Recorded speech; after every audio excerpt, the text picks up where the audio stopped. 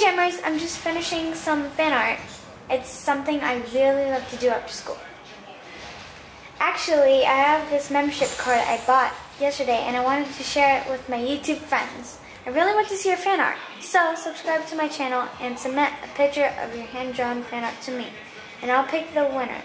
The rules and details are in this, the description below. Happy drawing!